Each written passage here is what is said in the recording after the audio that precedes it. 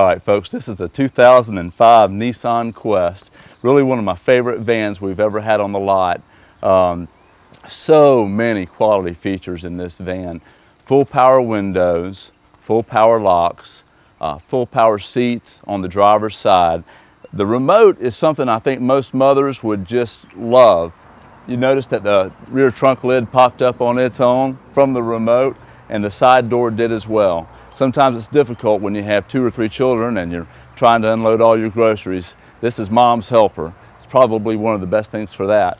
Full leather seats on the inside, uh, no cloth seats to deal with, which I think again on a van is real important. Typically people that have vans have small children and, and uh, a lot of spilling going on there between uh, trips to uh, the mall and to the movies.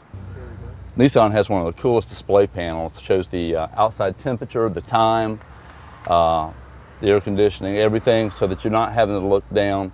You can see it as your eyes are up and uh, going down the road.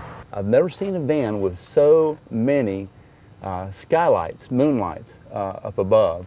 They literally go the entire length of the top of the van all the way including back to the third seat.